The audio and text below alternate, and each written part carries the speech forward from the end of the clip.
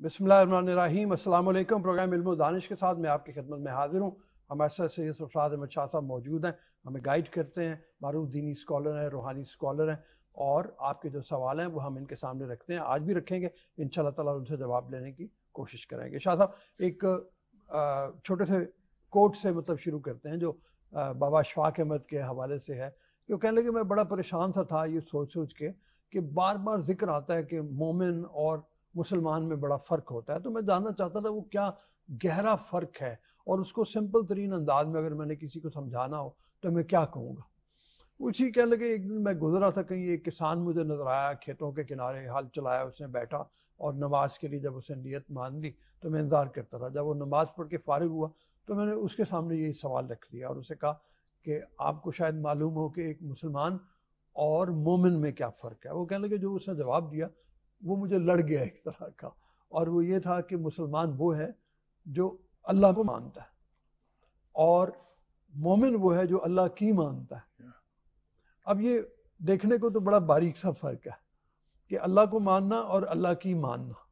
ये अल्लाह की मानने से मतलब अगर आपसे पूछा जाए एक रूहानी स्कॉलर होते हुए आप मतलब क्या मुराद लेंगे किस तरह से एक्सप्लेन करेंगे? अल्लाह की तमाम हिदायत को मानना अपनी ज़िंदगी उसी तरह से सादा रखना जैसे उस किसान ने रखी होगी और हर हाल में शुक्र अदा करना बिस्मिल्लाहिर्रहमानिर्रहीम। आपने जनाब अशफाक अहमद साहब का ज़िक्र छेड़ा।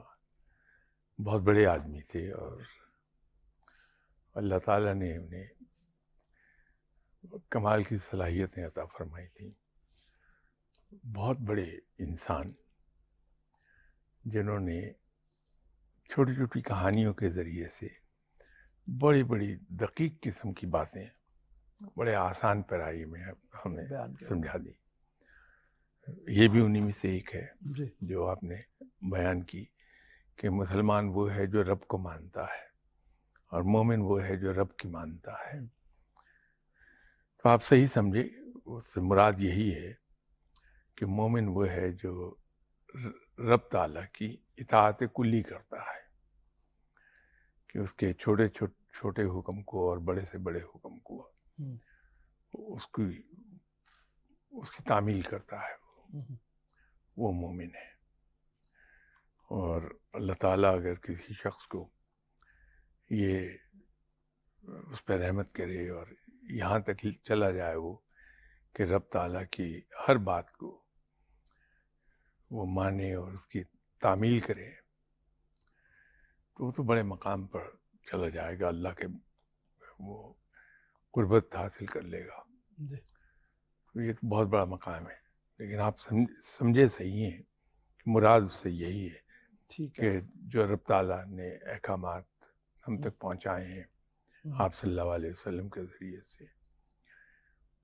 उनकी जो इतात कुल्ली है वो की जाए। ठीक है। अब इस अतात कुल्ली में जिस वक्त हम जाते हैं तो बहुत गहराई की बातें भी आ जाती हैं। मतलब वो एक बड़ा मशहूर कॉल भी है किसी का कि मोमिन वो है कि जो जिसके अंदर झाँक के गहरा आप देखो तो आपको रब का अक्स नज़र आएगा। तो आ, मतलब उस हवाले से देखा जाए तो हमें यहीं से पहचान हो जाती है। चाहे वो मोमिन बुज़ुर्ग की शक्ल में हो पीर की शक्ल में हो बड़े आदमी की शक्ल में हो उसमें रब का अक्स ज़रूर नज़र आएगा हमें। और वो उसकी तख्लीकी सलाहियतें भी उसी तरह से होंगी फिर और वो उनको इस्तेमाल भी उसी तरह से करता होगा। यही मैंने अभी अर्ज़ किया था कि जो। जिस आदमी को अल्लाह ये तोफ़ी बख्श दे कि वो रब ताला के सामने टोटल सरेंडर में चला जाए। टोटल सरेंडर में चला जाए। तो रब की उसे दोस्ती हासिल होती है। रब उसके दिल में बसता है। तो जब आप उसके अंदर झाँक के देखेंगे तो वहाँ फिर रब ही का अक्स दिखाई देगा इसलिए कि उसके दिल में रब बस रहा है। ठीक है। लेकिन रब को अपने दिल में बसाने की एक बुनियादी शर्त ये है कि आपका दिल बिल्कुल पाक साफ़ हो इंसान का। ठीक है। उसके अंदर किसी किस्म की कोई कदूरत ना हो। जिसमें कीना है हसद है। बुगज है गीबत है हिरस है हम्म। गुस्सा है। ये ऐसी आलाइशें हमारे दिल में न रहें क्योंकि रब बड़ा पाक साफ़ है। हम्म, वो उसी जगह रहेगा जहाँ जो पाक साफ़ है। हम्म, तो जब वो अपने दिल को इतना पाक साफ़ कर लेगा तो उसके अंदर झांकेंगे तो आपको फिर वहाँ रब का अक्सी दिखाई देगा। हम्म। वो बड़ा मशहूर सुल्तान बाहू का है कि तन रब सच्चे दा हुजरा विच पा फकीरा चाहती हूँ। अल्लाह को भी पाना है तो अपने अंदर झाँक के देखो और तुम्हें रब सच्चा जो है वो नज़र आ जाएगा। उसका अक्स जो। है वो नज़र आ जाएगा। इसीलिए मैं सूफिया ने हमेशा ज़ोर इस बात के ऊपर दिया कि अंदर की पाकिजगी अंदर की पाकिजगी के लिए सब कुछ करो। बातिन की पाकिजगी पे ज़ोर है फकीरों का जी। कि और उसमें यह है कि क्या ये ज़रूरी है कि आप नमाज़ रोज़े के तो पाबंद हो ही हो लेकिन उसके अलावा भी आपको बहुत कुछ करने की ज़रूरत है। वो क्या है? अपने अंदर की सफ़ाई के लिए और आदमी क्या कुछ करे सिवाय इसके कि वो इबादत में हो। इस्लाम में दो चीज़ें हैं एक है इबादत और दूसरे हैं मामलात। ठीक है।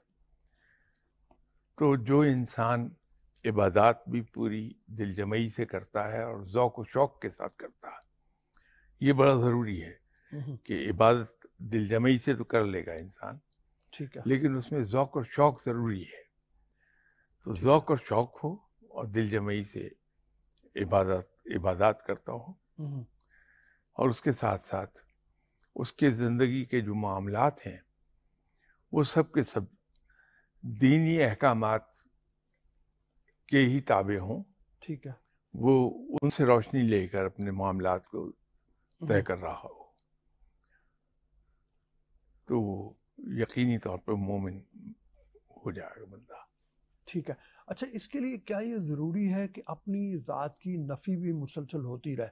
जैसे सुल्तान बाबू साहब का मैंने ज़िक्र किया तो मुझे एक और चीज़ याद आ रही थी उनकी और वो मतलब जैसे कहते हैं कि मैं को जी मेरा दिलबर सोना। मैं बदसूरत हूँ और मेरा दिलबर जो है वो बात खूबसूरत है।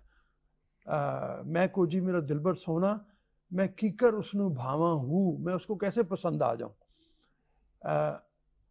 मैं किकर या रमनावा हूँ, मेरी मिसाल जो है, ना मैं सोनी, ना मैं दौलत, ना दौलत पल्ले ना तो मैं खूबसूरत हूँ, ना मेरे पास कोई ऐसी दौलत से मुराद।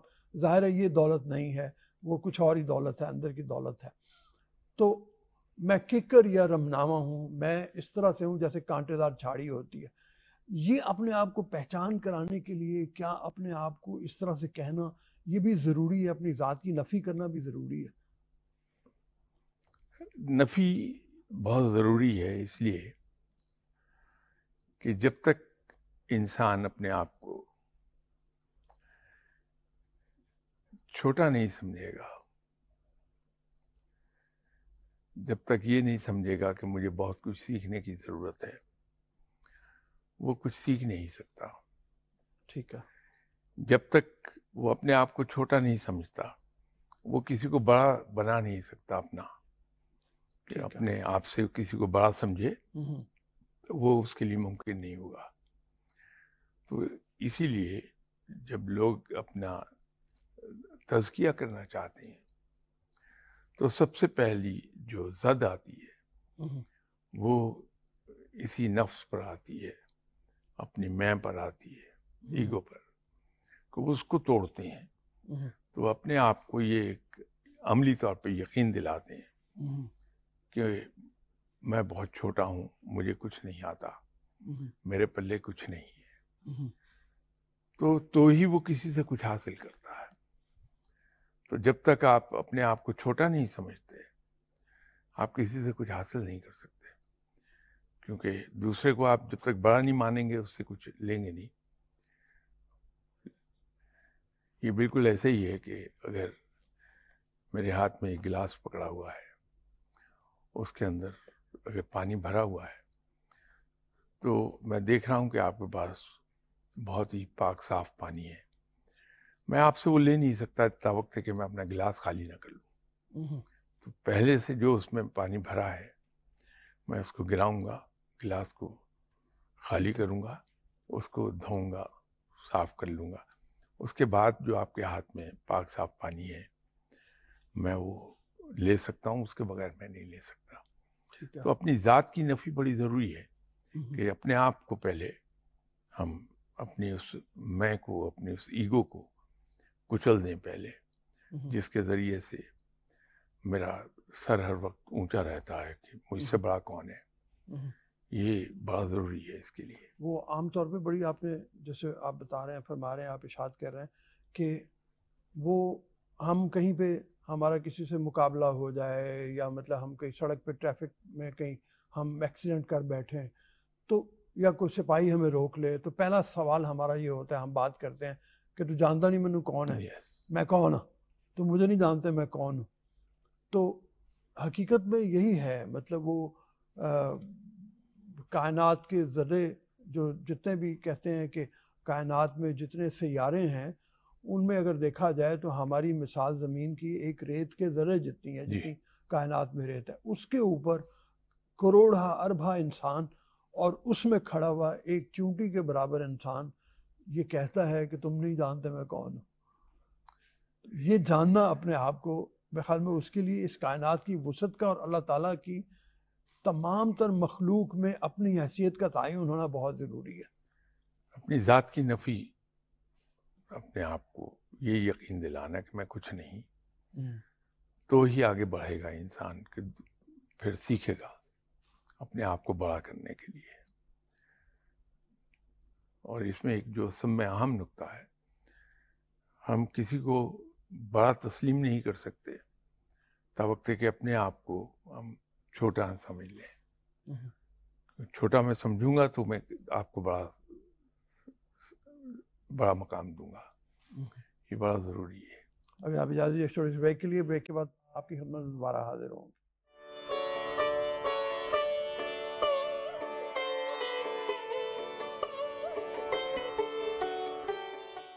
अस्सलाम दुआ जी ब्रेक के बाद। अच्छा शाह जैसे आप फरमा रहे हैं कि ज़ात की नफ़ी इसी तरह से क्या कायनात में फैले हुए अलूम का हासिल करना, अल्लाह ताला की बनाई हुई जितनी भी चीज़ें हैं, उनको जानना भी उतना ही ज़रूरी है अपने आप की सही पहचान होने के लिए।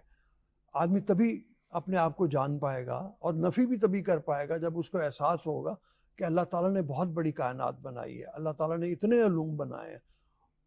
हम छोटा सा आलिम होता है चार जमातें पढ़ता है और वो समझता है बहुत बड़ा आलम बन गया छोटा सा उसने एमए का कोर्स फ़र्ज़ क्या, कर लिया और वो समझता है मैं मास्टर हो गया हूँ मतलब। तो जब तक उसको ये नहीं पता होगा कि मास्टर होने के बावजूद या चार जमातें पढ़ने के बावजूद या छः किताबें पढ़ने के बावजूद अलूम की दुनिया बहुत वसत है उसके अंदर। तभी उसको पता चलेगा कि मैं कितना हकीर हूँ मतलब कितना ज़रा कम हूँ। असल में ये इल्म का मैदान एक ऐसा मैदान है जिसका कुलिया कायदा तौर तरीका थोड़ा सा आम चीज़ों से हट के है। इल्म में लुत्फ की बात यह है कि जो जो इंसान के पास इल्म आता है उसको अपनी कम मायगी का एहसास होने लगता है। तो जितना ज़्यादा इल्म होगा किसी के पास उसको ये एहसास उतना ही ज़्यादा हो जाएगा कि मैं कुछ नहीं जानता। ये एक इसके अंदर एक अजीब सी चीज़ है इल्म के मैदान में। ठीक है। वो अलामा इब्न अरबी का कॉल भी है कि वो अलम हिजाबुल अकबर वैसे तो खैर वो और माने मतलब उसके बड़े गहरे चले जाते हैं लेकिन हकीकत यही है कि इल्म पर्दे हटा रहा है लेकिन एक पर्दे से आगे एक और पर्दा पड़ा हुआ है। बिल्कुल। तो इतना बड़ा है वो मतलब उसमें। उसकी वसत बहुत है। और जब आदमी उस वसत में एंटर हो जाता है तो वहाँ जाके उसे एहसास होता है कि मेरी तो हैसियत कुछ भी नहीं है यहाँ। तो इल्म जो लोग सीखते हैं जो जो उनके पास इल्म आता जाता है उनका इल्म बढ़ता है उतना ही एहसास बढ़ने लगता है कि मैं कुछ नहीं जानता। और यही चीज़ उनको आगे लेके जाती है। आप कभी किसी बहुत बड़े साहिब इल्म को कोई दावा करते नहीं देखेंगे। ठीक है। कि मैं बहुत बड़ा हूँ। वो रस्तु ने ये कहा था। जब उससे किसी से किसी ने ये पूछा अरस्तु से कि तुम में और एक आम आदमी में क्या फ़र्क है?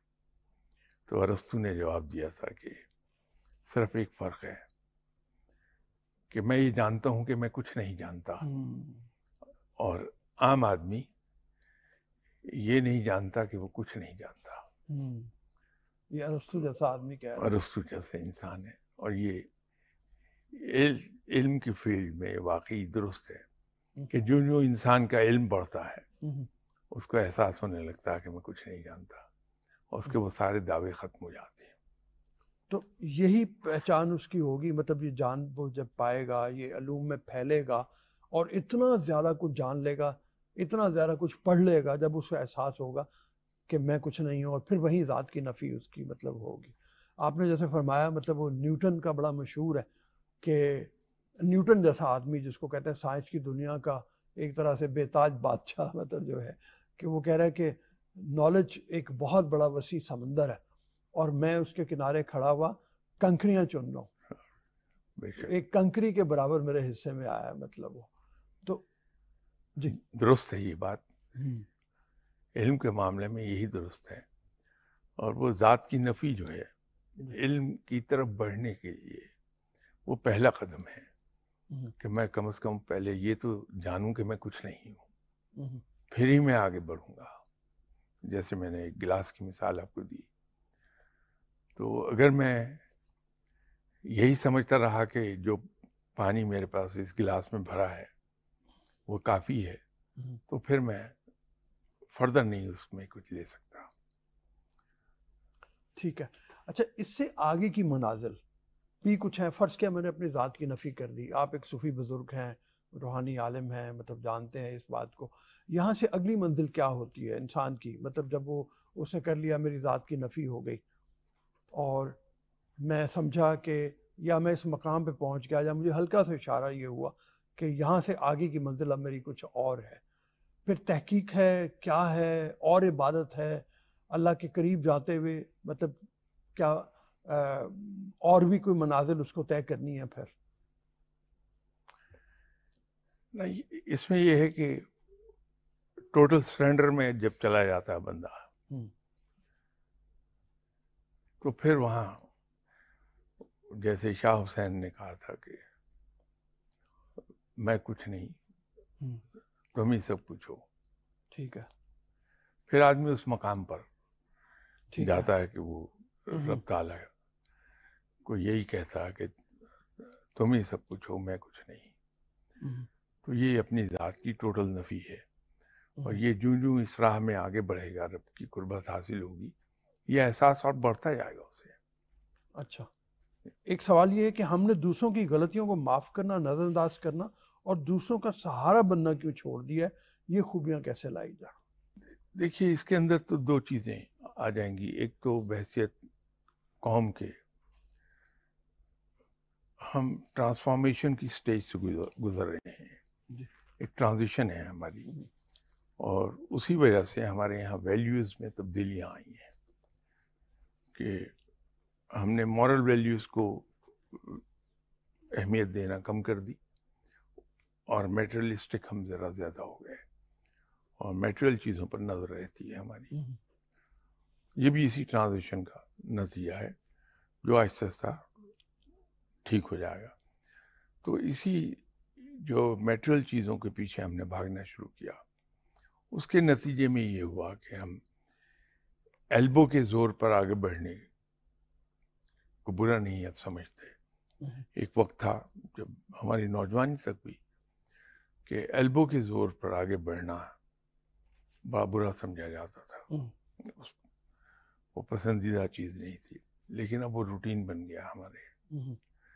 तो जब ये सूरत हाल होने लगे तो फिर वहाँ हम सिर्फ़ अपनी ज़ात का सोचने लगते हैं दूसरों का कम। लेकिन अच्छे लोग हैं। ऐसा नहीं है कि माशरा हमारा खाली हो गया। बड़े बड़े अच्छे लोग हैं जो खुद अपने आप को मुश्किल में डाल के भी दूसरों का सहारा बने रहते हैं। तो ये एक स्वीपिंग स्टेटमेंट हम अगर देंगे तो ज़्यादती हो जाएगी। तो हमारे माशरे में बड़े बड़े अच्छे लोग भी हैं। लेकिन वो जो जन जनरली हम जो बात कर रहे हैं तो उसमें ये हुआ है कि जो ट्रांजिशन है हमारी उस ट्रांजिशन की वजह से हमारे यहाँ एक चेंज आई है मॉरल वैल्यूज़ की बजाय हमने मटेरियल वैल्यूज़ को ज़्यादा अहमियत देनी शुरू कर दी। तो वक्त के साथ साथ ठीक होगा ये इन बड़ी मेहरबानी प्रोग्राम का वक्त अब ख़त्म हो रहा है। बस ज़्यादा से ज़्यादा ये कहूँ कि वो बड़ी मशहूर आयत है, कुरान की छोटी सी आयत है और जहाँ पे शुरू में भी वो आता है कि वलस इंसान लफ़ी खुस कसम है ज़माने की यकीन इंसान खसारे में है। इस पर गौर करना चाहिए हमें और जानने की कोशिश करनी चाहिए, इसके हकीकी मायने क्या है। बाकी जहाँ तक शाह साहब ने फरमाया, अपने आप को अगर आप ये जान लेंगे और आप वाकई पहचान लेंगे तो आपको पता चलेगा कि मैं तो कुछ भी नहीं हूँ।